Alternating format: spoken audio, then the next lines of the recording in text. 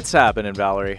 Okay, you told me this shirt that you're wearing. For those of you who are not watching, Mm. um, Chad's wearing a cool Owsla shirt. Yeah. this is an old Owsla shirt. Oh, that's a cool one. No, this one is cool. Yeah. Um, this one is from Rare. I think around the time that we were doing like the Japan pop up. Yeah. You know, it's it's funny about the Owsla merchandise. I do see a lot of these Zillennials and people who come to our shows wearing Owsla stuff. It's kind of starting to become vintage. It is because it's Yeah. not ha- it's not producing anymore, right? No, I don't. Any... I believe their last line probably was in like 2019 or something. Yeah. So if you see any like Owsla merch out there, it's vintage. It is Oh. vintage. Oh, yeah. Ooh. And uh, it's kind of interesting because we forget about how electronic music merchandise is, let's just say, not always the most inventive. And I think that a lot of the We've been getting better. better, Yeah. for better. sure. hmm Yeah. Um, but I think a lot of the aesthetics that I see in a lot of cool merchandise from our scene can be derived from like this Owsla stuff, you Mhm. know, and like other Yeah. things too from that era. I feel like that was the closest we ever got to like, for example, Camp Flog Gnaw happened Uh-huh. recently, and even being in LA around the time, you could see when people are going to Camp Flog Gnaw because like everyone's wearing cool shit. Like everyone has like the style or like the pieces or whatever. And I feel like the Owsla merch era was the closest we ever got to like the street style meets merch collab in Yeah. dance music. Totally. I mean the the the products were super quality. Um, Very. cut and sew, like really. I remember like I had like a little discount that they gave me at the pop up that was over in Chinatown. Mhm. So I went there one day and I bought a hoodie, and uh, our friend was working there, and I was like, she was like, "Oh yeah, we'll, we'll give it. This is free," and I was like, "Oh no, no, let me just, I'll just do the discount. I want to, I want to support." And Yeah. she's like. All right, cool. That'll be a hundred dollars. I was like, "Oh, damn, like, "Damn, the discount." mind." Okay, you should have just taken the free I you know. could. Is that one of those moments where I'm like, "Can I actually kind of rewind that for a second? Yeah, Let's go be ahead and comp "Never this one." Um, but yeah, shout out Owsla. Um, Wow. Everyone, it, it's happened on this show, but in, I hear it more and more. People want to Owsla come back. So, Sonny, Hello. there's no way you're listening We're to this, but if you are, We're calling. Hello. Answer Uh, the phone. so how are you doing? Giving me some observations about things. Like we're coming up on Thanksgiving now. I know. The holidays quickly, Yes. imminent, imminently approaching. Yes. Uh, what are some things that you've been up to that you've witnessed? Witnessed, experienced, lived. Uh, well, I feel like the first thing that comes to mind was we were both there. Uh-huh. We recently here in LA had a mayhem of a week of Fred again shows. I think it was originally it was originally eight shows, right? Originally, yeah, an eight plus one. Yeah, and then they Yeah. added an extra show where he Mhm. ended up just DJing freestyle or Fred style. Um, but that was the most recent thing. I feel like that was a big talking point because it felt like everyone in LA went to that show Yeah. because there were so many of them, first of all. And obviously everyone loves Fred. And it was a cool show. What did It- you think of it? It was. Um, I thought it was easily one of the best electronic music shows I've been to in the last five to seven years. Wow. Mic Yeah. drop. Yeah. Big mic drop. Um, you know, I think that his music is very manic. Like he Oh. he may it may be a reflection somewhat of even his own personality. Uh, a little bit Hmm. of that ADD, a little bit of that, you know, samples here and chords here, and just a lot of different elements. Totally. Um, so I thought that there was an there was a very satisfying blend of both high and low. Um, and yeah, it was cool. I do think the tightest part of the set is when he did go in the middle and he performed all his bangers back to back on. And I feel like what they were trying to do there was emulate the success of his Boiler Room show Mm, and mhm. have like a little bit of like a segment of the show that kind of spoke to that as part of his musicianship. What did you think? yeah, for sure. No, I think 100% that. And I almost feel like a lot of the milestone performances of his career in the recent like year, year and a half, two years have been trying to emulate that kind of like comes from club culture, like really involved. Because we recall the Coachella performance with Skrillex and Four Tet and how they went to the middle of the crowd and they were like in it, even though it's like a huge festival stage. But I think 100% that show was outstanding for the production side of things. I Yeah. think I agree. I thought personally, I've seen Fred again a lot, and it's funny because I like I tweeted about this after seeing the show, and people were like, "Oh, you're a Fred again hater," and I was like, "No, honestly, I actually consider myself an early Fred again stan because I loved Fred again. You have been on this train. I've been on the train, and not even I'm not even trying to say like hipster, like I found him first because I definitely didn't find him first, but I was early on being like, "This is cool. I like this sound. This is different," and so I've seen a lot of sets, and I will say that it's really interesting now seeing him at this stage in his career where he has so many songs. He is like a monster at releasing albums just back to back to back, basically. And it's almost like he has so many songs that I feel like it's hard to stuff into one set. That Mhm. it's like just his set, like not a festival, like trying to, you know, bring up the vibes of an ending festival set. Like it's just his headline show. So I did feel like that was an interesting thing to see him kind of work through. But I will say that the show itself overall was like so well thought out production was amazing. If you haven't seen the videos, like you have to go check them out because it's at the venue in LA called the Shrine. And for those who've never been, the Shrine is kind of like I would almost describe it a little like a hallway, even though it's bigger than a hallway, but it's a very long venue where like you're kind of just like you're kind of limited to what you're able to do in there usually It's literally a hall. it's there you go a hall so it it was really cool and i think he had the very genius idea to do these eight shows back to back instead of selling out like a huge enormous venue because he could just set up the production once and then do it for eight days in a row and not Yeah. have to move a single thing which you know is so expensive when Totally, you're touring So, Totally. Yeah, I think that um I think Shrine is the the reason why it's like so coveted in Los Angeles Mm. as being this like pinnacle milestone is that it's the biggest venue that you can perform in as an electronic music artist before Mm. you get into essentially like arenas right or yeah. you know and and and then stadiums like yeah like basically the shrine is that last rung of that ladder before you climbed up to doing a massive coliseum sports arena crypto bmo all the names of the but like All those level stadiums. venues you Yeah. know when we're talking about five figure attendance Yeah. um so there's something powerful about the reason that venue is a, a milestone what i will say is that the acoustics in there are hit or miss depending on where you are For sure. I would say that's one of the worst features about the shrine typically is that sometimes it sounds like a tin can in there, Yeah, it, it i really at that venue especially jump right in the middle of the crowd just get Mm. right in there you're gonna have the best time a lot of times all access or you know industry The area is upstairs area. and it, it's yeah. good sight lines but like i want to be in the show Yeah. you know and i've got definitely gotten more into the like put me in the middle of the show um Always a Gesaffelstein, believer in i just jumped right in there Yeah. Maddie on i was with the peeps the the peep with my people The people's. yeah, it's Um, good. and it was great and like as a music fan i think that's the experience you want i mean in 2008 i went to hard haunted mansion at the shrine and it's the entire shrine back then if you remember there was the outside area as well Yeah. which was the parking lot which was the second stage which Mhm. was actually the main stage but anyway long story short that was as a music festival still to this day i would probably say the most influential music festival of my life um just an unbelievable collection of talent Deadmau5's breakthrough set Soulwax's unbelievable set justice dj set Wow. crystal castles crookers dj am dressed up as daft punk um on and on Wow. but that was when I realized the true power of the shrine. And basically, what I'm getting at Mm. is like, I think for people outside of LA, they hear like, "Oh, we did eight shrines," and I don't know if the cultural or like the significance translates. But here in LA, and and I think regionally, people understand that that venue holds a lot of like very special. No, I'm um, really glad you explained it that way because even I honestly, you know, it's easy to kind of laugh or almost just be like, what an interesting approach to do eight shrines in a row instead of doing like a big arena or something like that. But it is so true because I think that's something that we're seeing a lot of right now is like artists that have had this kind of massive growth over either pandemic times or even the past few years of just like social media, TikTok, if it is that.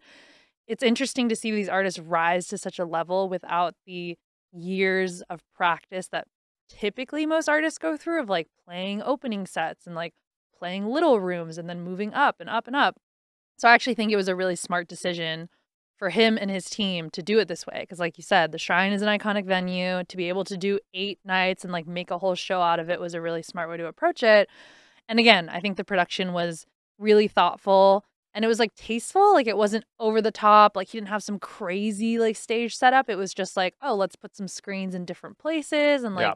utilize them in a smart way let's of the- move him around the crowd Yeah, and one of the things about lighting that was cool, there were Mhm. several little lighting tricks that they did that were fun. One, they Yeah. had those really bright uh, white lights around the perimeter of the the upstairs balcony, and then out of nowhere they just all went on, hmm and everyone was like, "Oh shit!" it was very bright in there It was very at some bright, and then they had like those kind of like star-looking hanging lights that they put. in. So there's a nice, there's nice devices and different uh, elements that they incorporated throughout the show Yeah. to make it feel like a living kind of experience. I I thought it was a top-notch show. Don't get me wrong, and I don't, you know, I could break down X's and O's about what, you know, different ways you could have done it, but I think ultimately, you know, it it. It, it lived up and surpassed a lot of the expectations that I had. And what I will say about the shrine, the last thing is that, you know, in 2019 we sold out the shrine, and I gotta say, out of all the things that have happened in my career, I think that might have been the most important. Hmm. Um, and the reason being is that you know I have this theory,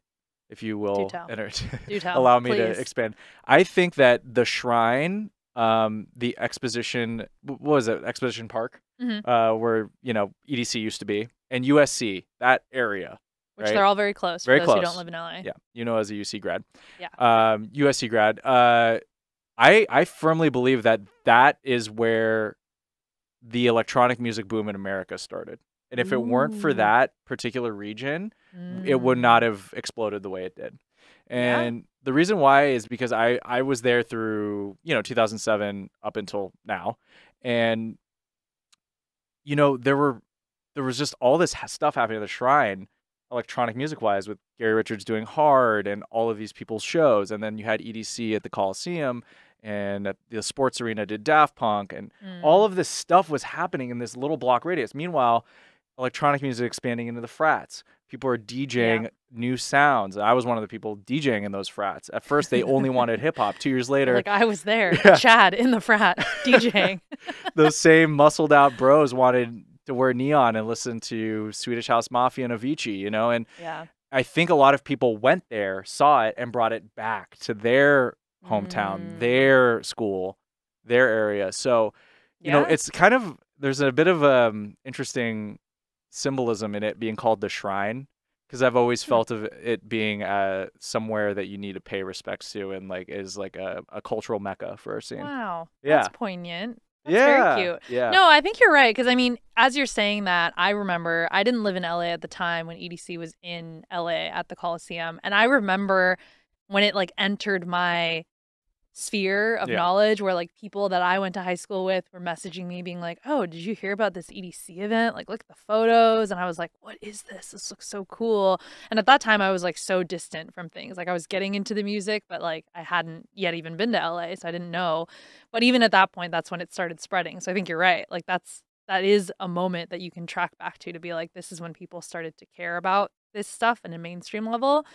And it's also interesting because I do feel like one of the best parts about that era was that things were so new and people were just doing things that had never done before and just trying things and obviously some of them worked some of them didn't.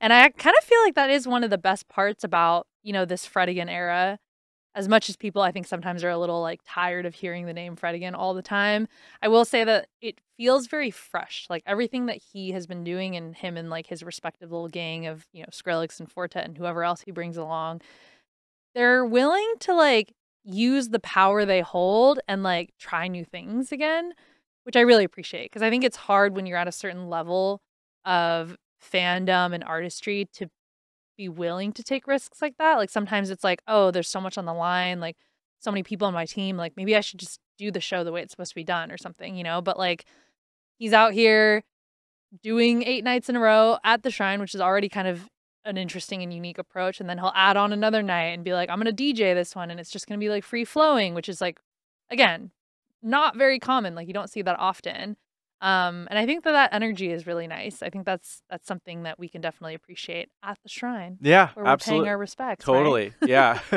I think I think you're right. And I think that he I think that it speaks to the open-mindedness of the fan base, even though a lot of them may have discovered him through very mainstream means or are only there for the hits. Mm. I do think it speaks to like people are open to having a different kind of experience with their dance music. Yeah. Um, but you know, this kind of transitions into my next point that I Mhm. was thinking about because Fred again, obviously someone who sold, you know, ostensibly what forty five thousand tickets at these shows. Crazy. So you got to imagine that anyone who could do that, especially in Los Angeles, must be pretty big. Mm-hmm. Um, however, it made me start to think a lot because I was listening to a podcast called Plain English with Derek Thompson on uh, The Ringer, and he was talking to someone about fame.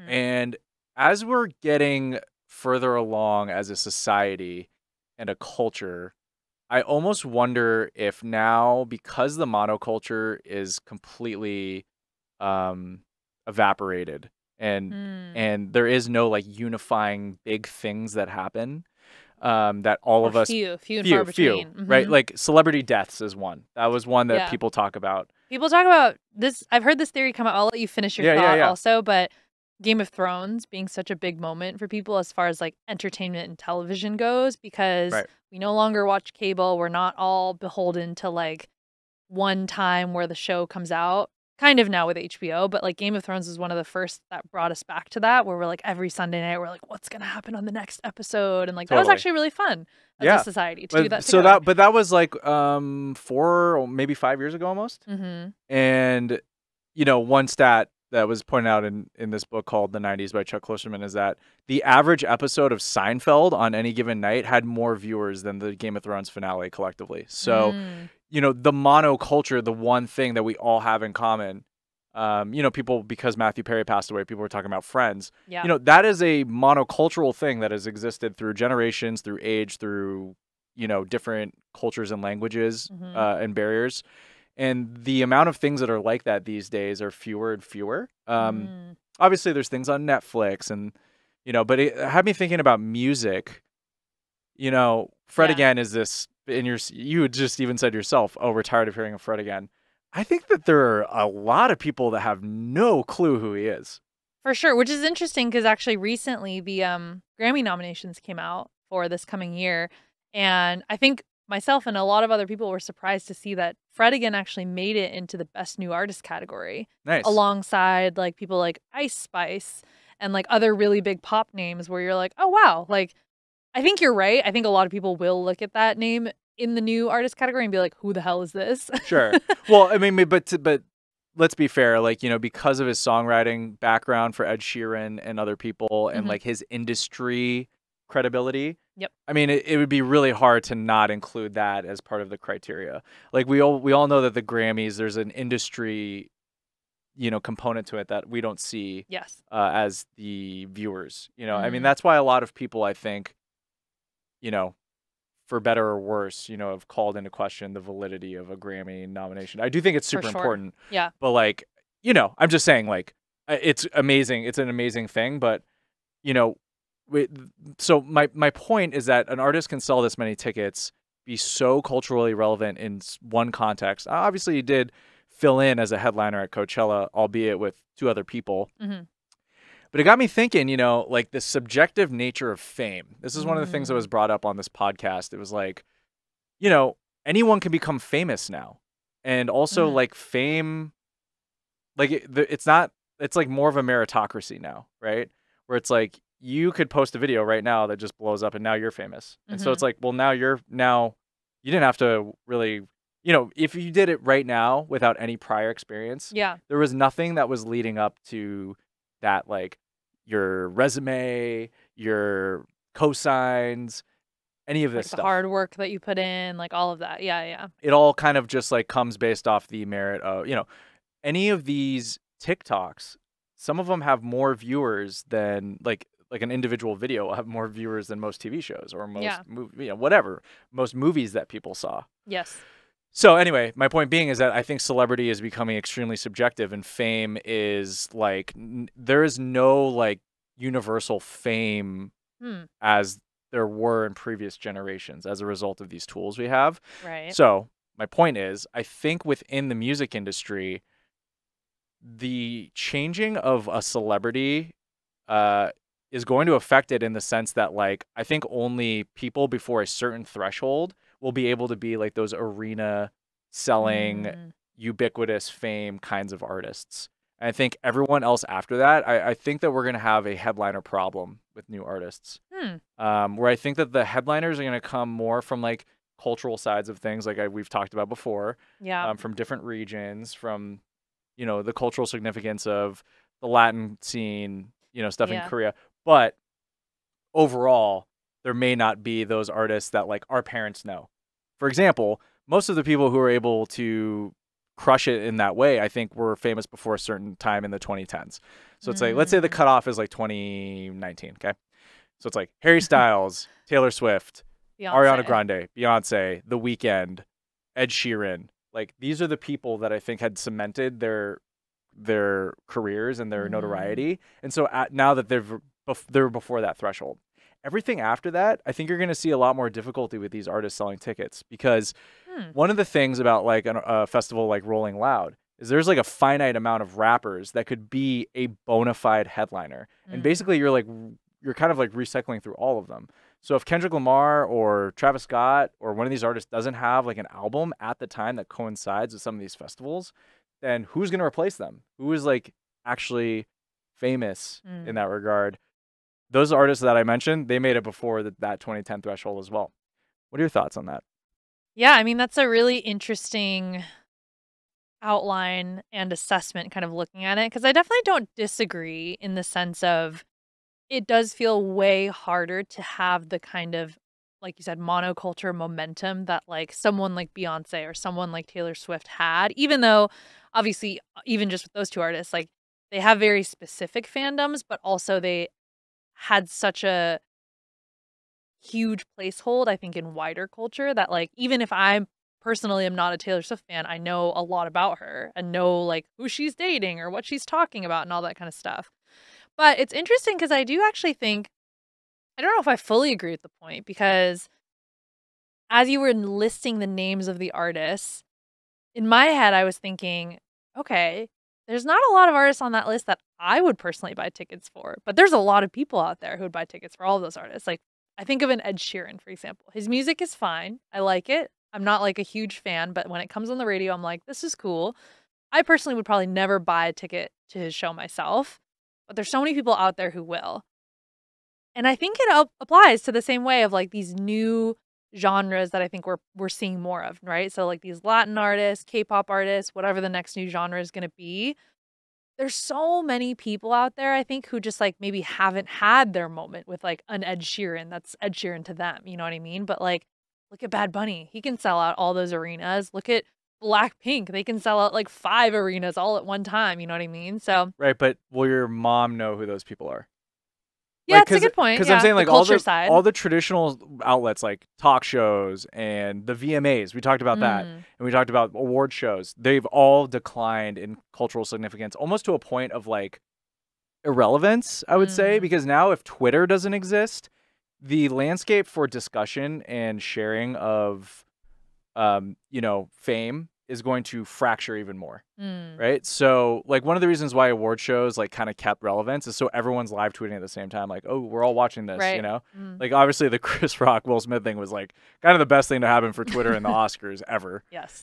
I just think that it's it again, it's not better or worse. I'm just I'm just saying that like I would be surprised, you know, if any of the ways in which our celebrities and musicians were, you know, built and revered continues Mm. because I'm starting to see everything leaning so much more legacy heavy, and for this pre threshold of the the meritocracy or the the the evening out of fame, you know, yeah. because like like yeah, Bad Bunny can sell out Dodger Stadium or all these arenas, and like again.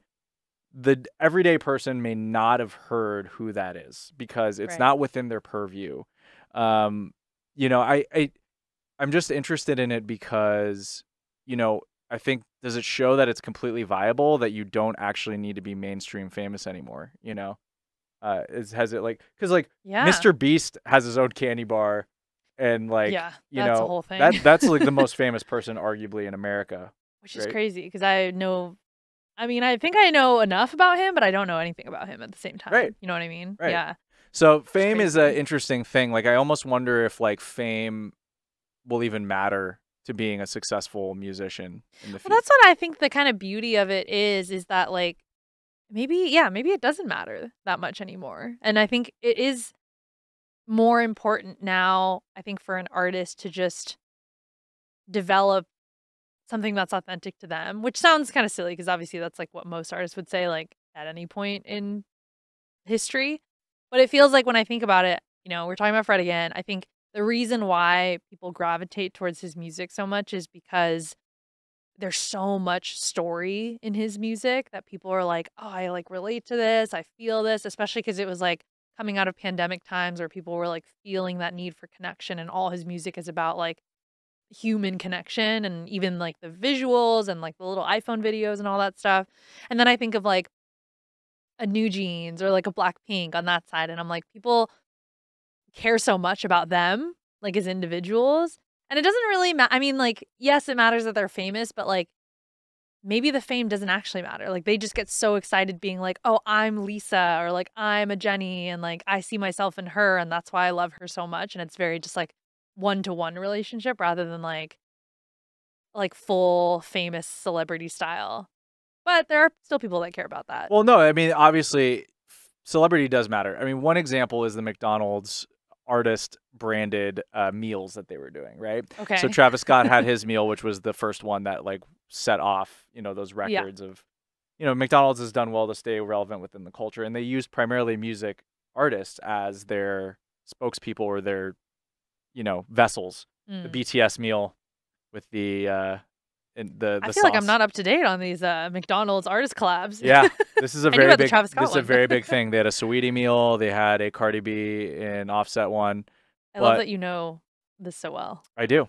And but now it's kind of like now that angle within. Um, I'm sorry that I do know this. Okay, so I just I apologize. I appreciate But like it. Jack Harlow. Okay, they had a Jack Harlow meal at KFC. Come on, is Jack? Har- news to me? but I'm just saying, like Jack Harlow, like if we really ran it and we really thought about it and we compared the fame of Jack Harlow to like Ludacris back in the peak of the 2000s, Mm. like think about the difference in fame, Mm. right? Like Ludacris had to require millions of people to actually go buy a physical CD. Like Jack Harlow can just be famous from just people just literally looking at one phone and just not ever having to do anything outside of their comfort zone, Yeah. right? So Jack Harlow being famous and getting his own KFC meal was more of a, a statement on the subjective moving goalposts of fame and how that applies to marketing rather than him actually being famous, you know? Hmm. My last point is that I went to Dunkin' Donuts in Florida and they had an ice spice flavor. Okay. Okay? This ice spice flavor. Okay, I'm sensing a passion point between fast food, music, and Chad. well, let me tell you, this is the holy trinity of Chad. Uh, yeah, this of- is a surprising passion is- point I didn't know These are three things I love, and Yeah. the third one is me, right? So that's what you say. um, but they had this ice spice flavor, but they didn't have her image anywhere, which I find like kind of Whoa. hilarious because if you're buying a a That Dunkin'. Donuts beverage and it's called the ice spice latte or ice spice drink, you're not going to think that that's anything except a name that they're like pumpkin spice, ice spice. Like what how would you're sure it was like an Ice Spice collab? Yes. Yes. That's interesting. And Why would they not use her face on that? I don't know. I'm Maybe she wasn't famous enough to put on the actual like the actual like video menu, but it, I just thought it was funny that like it's the ice spice drink and it's like okay, like how would anyone know what that is other than like the extremely devoted, you know, under under Yeah. 20 somethings who, you know, are are I with know. I'm wondering if that's also just like marketing people being idiots. it. I Kind feel of. like that's honestly the root of a lot of But honestly, they- confusing things like but that. honestly, like I don't know if it, it was it has to do with like the amount of money that it that the artist would be getting in free promotion to have their their face on the menu of Mm. every McDonald's in the country. There has that's to really be some trade off there for Because sure. I'm like, is Ice Spice advertising Dunkin' Donuts that hard that like it was worth it for them to? it's someone in their marketing division that was like, oh, yo, she's popular with this age demographic. We're lacking in this at Dunkin' 100%. Donuts. That's exactly that- what happened. Totally, And but not enough to use her name because that's too much promotion. Uh, using our yeah, interesting. The other thing that I've Huh. noticed is a uh, this is this is kind of a hot topic, Val. So I Oh, came in firing Hotter than today. the last one? Maybe Maybe. Okay, I'm ready. so. You know, we've seen the Taylor Swift Eras Tour wrap with like the most unanimous fanfare and support of a public figure, I think, in Mm. maybe in my lifetime. Yeah. right? There are also some conversations that she is maybe the biggest music artist of all time. Um, Hmm. That's what that's a whole separate topic that someone I heard someone having on a podcast recently, and we can table that for another time. Yeah. That's a deep But- one. What I'm seeing as a like interesting counter to that, this like, you know, this beloved sort of um, s- celebration and outpouring of of support for this one particular person. I'm seeing a lot of artists that used to be like universally beloved get their entire career deconstructed and torn apart at this point. Oh, okay. Interesting. you know the first person that comes to mind Yeah. when you say that? Justin Timberlake. Justin Timberlake. Absolutely. Are talking about. Justin Timberlake? So Ooh. and also Drake. You know, I've been reading a lot of like Reddit forums and like stuff, and I realize that people under a certain age, they actually hate the guy. Well, okay, that's that's interesting because those are two very interesting and different cases. Well, let's, let's talk. Let's start with JT because I think JT has a lot to do with a particular person, Britney Spears, who is so beloved and has people protecting her. for but sure. also a very the te- recent event. A very, uh, a very telling memoir, obviously. A hundred. I mean, that's I think the do- the first domino that fell for sure. But I also think with JT, it was more of a cultural context thing, right? Okay. Because it's like I imagine that like if he was doing the things that he was doing back in his heyday, now I feel like people would be super like, "What the hell is this? This is not like that cool." Honestly, Yeah. I think it was just so like of the moment. Oh, Oh, one hundred percent. But it's like but so my my other thought about Drake when you bring up Drake is that I think that Drake's best work in his like earlier years of his career could still pop off today. Yeah, well, because Drake's come up in the late 2000s was similar to it, it was the right route to go. He got popular through internet. He was one of the first artists that was built from the internet communities sharing his mhm. work. His internet mixtapes, obviously, you know, Mac Miller followed a similar trajectory, Wiz Khalifa. This was very much of the era. Yeah. And I think that then became the template for like SoundCloud is how you blow up. And so it's not too dissimilar. But, you know, from like, you know, the the way that things are now. Justin. Timberlake was a Mickey Mouse Club kid on the Disney Channel and was a child star. Yeah. Well, Drake was a child star as well. Let's not Yeah, let's not forget he that. He was on TV too. but I think his he was not uh, known as a music figure, so that was separate. Justin has always been a music entertainer, like multiple. Fa- but I just think that like we're we're gonna have a, a a thing coming up soon, and this is kind of like the overarching part part of this discussion where Uh-huh. we're not gonna have a lot of headliners left. You know, That's an interesting thought. because not only are we producing less people that are like ubiquitously and like widely famous that everyone can agree on, Mm. we're going back and the people that were these sort of monoculture figures drake was booed at Camp Flog Gnaw and that was only a few years I ago. I actually saw a rumor today that people are thinking that Drake and J. Cole might be Coachella headliners, and I feel like the immediate reaction is disappointment to that. right less for J. Cole.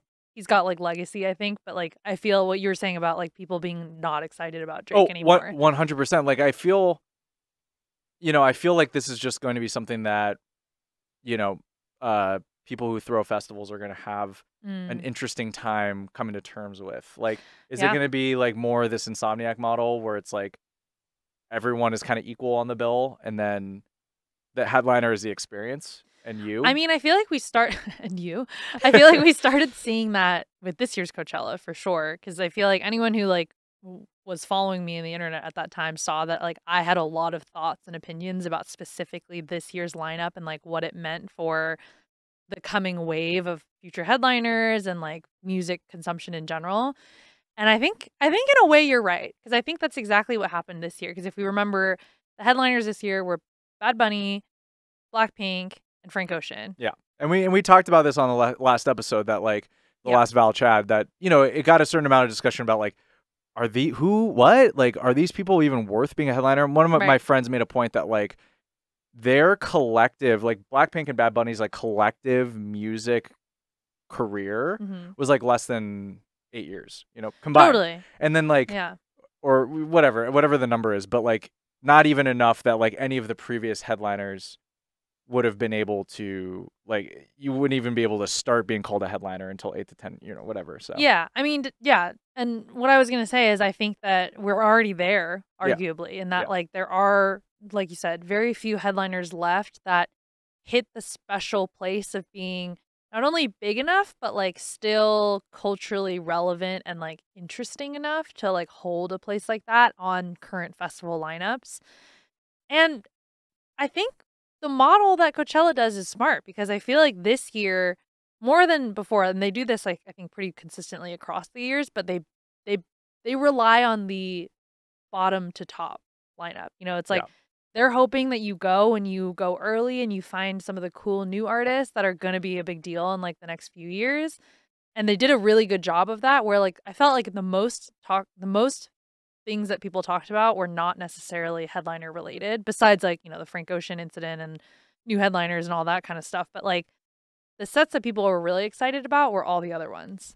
totally. And I think that like uh, uh, on a wider conversation, I think the the issue with the the fame conversation Mm-hmm. is that we're seeing a lot of people who like can play for a crowd at a festival and like crush like a 20,000 person audience. But like if they themselves were to go on tour, they probably would be able to sell like a fraction of that, right? Hmm. So I Mhm. think like the festival model has like man, it's just like such a difficult conversation, right? Because unintentionally it's both supported and grown the overall revenue of an industry and individuals like so much more than they could have ever imagined, Yeah. but made it so much harder for the individual artists to succeed in their own But context. it, at the same time, it also reflects on just culture in general because I feel like it is very much now quantity over quality in so many, especially when it comes to music consumption. It's just like TikTok 15 second clippies, like who can get the most of those, you know, to become the next big star. And you're right. It's like, that's just the way that people's brains operate now. Like they don't have time to like get invested in like very it takes a lot for someone to buy the headlining ticket for somebody's tour like you said so i think it's you're right it's really Yeah. hard for an artist to be able to like go on their own tour especially like across the us not just like the big cities or something like that But as someone who grew up with the monoculture, you know, uh, both of us, like, what? But for you specifically, like, do you think that? How do you feel about it? Are you kind of bummed that we're losing these like shared pillars of of our culture, or do you think it's good because it's leveled the Mm. playing field? honestly no i feel like i mean and this is probably just like a personal thought but like i've always been a person that is really curious about wherever i'm not you know what i mean like I've always been interested in learning more about, for example, I used to be a person that I was like, I listen to everything except for country music. Said that for so many years, and then got an opportunity to work within or around the country music industry. And then you're like, yeah, country slaps. Honestly, some of it does. I will say that some country slaps, and I also think like there's some really, really interesting things going on in country music just because of the way that their artists work and the way that their audience connects. And it's very specific to country, but at the same time, it's very similar in many ways to what we in dance music experience. Because I think there's um, a very deep connection between audience and artist in both of these genres, or audience and music, I should say, more so than like others. Like, I think obviously fans love music in general, but like the stories that people connect to are very similar in like dance, electronic, and country. Uh huh. And that's just like one example of like, oh, that's super interesting that like these different genres work so differently, but like very connect similarly in some ways. Right. So I guess what I'm saying is like I love learning about like these new spaces that pop up. Like Yeah. I'm a recent K-pop fan. I wouldn't even say stan because I don't know enough to say that I'm a K-pop stan. If you don't have a tattoo, people. you're not Stan level yet. I know, honestly. I don't even have like I don't even have a Blackpink like little light, so Yeah. I can't say that I'm a stan, Okay. even though I love them. Um, but I think it's really fascinating to like see something like that bubble up and like see what it does to culture and people and like what we then learn about like Korea and like the way that their music industry works. So Yeah, I mean, I think country is a good comparison because country is something that's always existed, which some people, especially in our, our bi-coastal uh, elitist Mm. uh, bubbles, would probably say is not a subculture at all. It is for most of the country the culture, yeah. um, and that is a monoculture thing that I think has kind of existed. Mhm. Uh, I don't know if a lot of people know this, but the biggest artist of the '90s by far was who?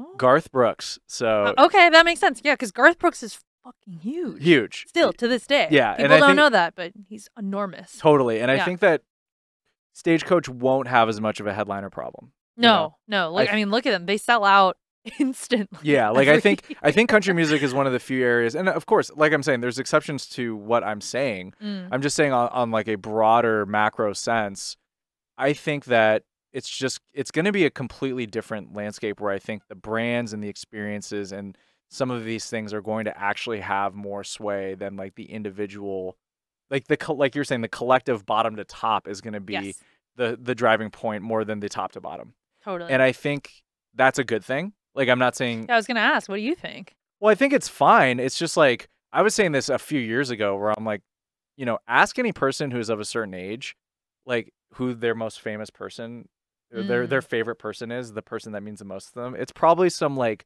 makeup tutorial YouTuber or some role player on Twitch or something that you Yeah. have no understanding or or reference point for. And like Mm, that's just if that's the the environment and like the um you know the layout that they're growing up with then it's going like a few years from now we're going to see a tremendous impact on the culture i'll i'll tell i'll say one last thing on this like like extends to movies right like we had the bob the the barbenheimer moment this summer Barbenheimer. Yep. and that felt like a monocultural kind of thing yes. where like okay everyone was going everyone was opting in from young people to old people everyone collectively like had had bought into this thing. Mhm. but movies overall are just kind of washed you know like going to see a movie? Mm.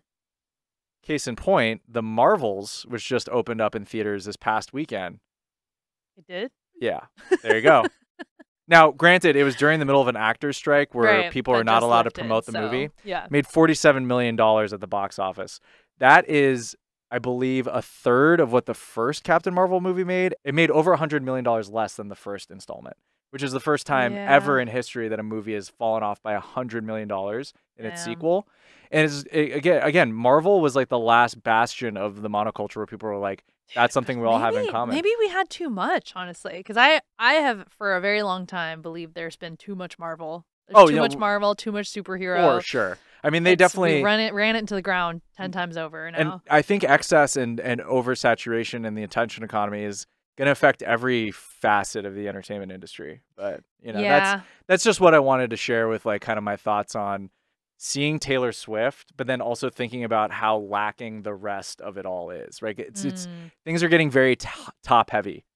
Like a lot of the numbers that I think people are going to report about the success of our industry is going to be propped up by a lot of these these cultural titans that can, you know, transcend the yeah. It's a really interesting. I mean, yeah, I I think God, I've like I'm just sitting here thinking about like all the different toxic elements of like monoculture and like stand culture and all that stuff. That's a whole different conversation. we right. won't even get into. I know it, it's it's it's enough for plenty of episodes. But Yeah, but when you say like things are top feeling really top heavy in mu- the music industry, I think that part is something to keep an eye on for sure because that reminds me of like the recent news where Spotify came out and said that they're only going to pay artists if they can reach over a thousand streams or something like that and like that feels very like oh okay we're focusing on like the top heavy artists and like if you're a small small bean like good luck we'll see you if you get to the top sort of thing so i will say like that's the only downside I see of it, or not the only, but one of the major downsides I see of of that is that yeah, I don't know. It's it's just tough. right? yeah. I love. So- We'll we'll uh we'll More we'll to get, unpack. We'll get our for sure. Spotify wrapped uh, in data and then compare notes at the end of the year. more to come. We're gonna do a end of the year wrap up episode where we get to talk about this year and upcoming year. But since we're on the topic of timing of the year. Yes. Wrapping up this this week's Val Chad episode. It is going to be Thanksgiving very soon here in the US. And it's a time where we like to think about things we're grateful for. Oh, absolutely. What are you grateful for this year, Chad? I wish I had like a decorative Thanksgiving hat to put on I know. this exact moment for those watching. It's more fun. I want a big old gobble gobble turkey. Yeah. I'll remember for next year. Please, please. uh, well, I just got to say it, Val. I'm grateful for this podcast. Oh, you took mine. All right, we got the same one. That's so cute. No, but yeah, say more. Well, you know, it it's really amazing because when we started this, I was like, all right, you know, Wow. here we go. I see. This is how you really Sorry, felt Val. when I was Sorry. like, let's do a podcast. This is You're like, this is "Eh." when you're at Thanksgiving and people go around and talk about what they're thankful for, and someone starts crying and really letting you know. Yeah, yeah, yeah. Um, but you know, like I just wasn't. I don't go into things with a lot of expectations anymore, uh, or like it's too real. I don't go in with like set, um, calcified like uh, like you know goals or whatever expectations because I like to practice what I've what I what has been called um practical optimism. You Mm, know, I like do love that. you Mhm. know, I think it's gonna be great. realism. If not, it's there's a chance that it probably won't be, and if not, so be it. so be you know? it. hmm But every step of the way throughout, and just the way that people have been talking to you and I about it, and the Mhm. messages that I get, and getting to edit it, and all of it, it's just been an amazing experience so far. So Yeah, dude. thank you. Thank you. No, I agree. I will say, I mean, I won't harp too much on it since you already said it, but I agree. I think that it's been, hopefully for everyone listening too, it's been a fun place to have a lot of the conversations that you and I, I know, we're having both together and with other people and friends and music or just fans of music. But also, like, it's just nice to be opinionated and care about something, but have a place to discuss it and hear hear from others like when we have guests and get to talk about these kind of topics too like it's really nice and i do feel like dance music is one of those places where people like to say like you know there's not a lot going on substance wise so i don't agree with that that's just what They're people not wrong, say you know. yeah sometimes they're not wrong Well, I mean, I think a lot of it is that, like, especially for people in our position, there's like not a lot of like therapeutic resources. I think a lot of it is just Mm. like, I don't know. I think it's we're just, just like, moving everyone's just moving fast trying to do a lot I think a lot of it is like keep it moving, you know. yeah And I do think that there's something a bit problematic with that. Mm. But also, it's just a lack of language and communication that exists to, you know, sys- systematically. Seeing like a decent amount of people react to some of the clips and and the short form stuff as you know a gateway to finding what we do, which is awesome. You know, yeah that's I'm true stoked that that is like the com- a component of the show yeah but we really made this show for long form people. So if you like hearing like in depth discussions and good convo, you know, yeah I if you think made that it to this part of the podcast you're in it if you made it this far, like you're tight, you're, You're- pretty tight. you're in it Uh, but you know, you know that this is who it's for. Is like if you're listening to this right Mhm. now, then this podcast is for you. yeah well i think that's a great one i will say that that you stole mine I'm sorry. but that's okay. Anything we're in agreement with it. Yeah, I will say I think in addition to what you just said, obviously I think the podcast and the conversations that we've had have um, helped to inspire this feeling, but it makes me feel really like hopeful a lot of the times about like this world that we care a lot about, have spent a lot of time in and it it makes me feel as though we're in a really nice place where artists feel comfortable to experiment and try new things. I feel like that's a consistent through line that we've heard through many of our conversations and just even our observations about what's happening out there. And it's really nice to be in a place like that where I don't feel like things are dying or, you know, getting stale. I think that people are innovating and like feel really passionate about this place and this sound that we also are excited about. So Yeah. it's nice. It's nice to be in a place to like not only experience it and like go out to shows, you know, especially after years of, you know, being stuck inside and being like, when the hell are we going to be let out again? Um, but also to just like experience it and appreciate it and kind of observe it. And you and I get to sit here and talk about it and see what comes next. So No, that's that's all good. That's that's right. That's totally right. You know, I I think it's uh going into next year I'm feeling really, you know, hopeful Me too. well, you know? Yeah. because it it's a really difficult time in general. Um, just like in every particular Yeah, just area. really just everywhere, just like, man. unfortunately. but you know um i think that there is meaning you know in in music obviously and i think as you are the longer and longer you do it for it's hard it's you lose more sight of it. No matter Mm, how yeah, driven and with it you are it, it is it's just tough. a natural cycle. yeah. Mm, hmm so at least i we use this as an exercise um to stay hopeful and stay invested and Yeah. interested you know? Yeah, so that's cute and positive. I Yeah. love that. that's right And I love if you're listening. No, honestly, I think it's it's one of the best things is that there's actually people out there who appreciate it as well. So we And- would do it still if it was just us, but Totally. it's nicer when other people are listening too. And to that one guy on YouTube Shorts who asked if this was a painted on beard, I will Oh, tell damn. you, it ain't painted on. It's just perfect. Damn. So Yeah. I know it's shocking. you tell him, Chad. this looks like Leonardo himself Wow. put this is hilarious. put put pastel to this canvas. Um, You just really needed to say that part. yep, that's right. That's all we got today. Thank you so much. Thanks for tuning in. Thank- all this noise. Thank you, Val. Thank you, Jose. And thank you, Icon. Everyone listening. We'll talk to you soon.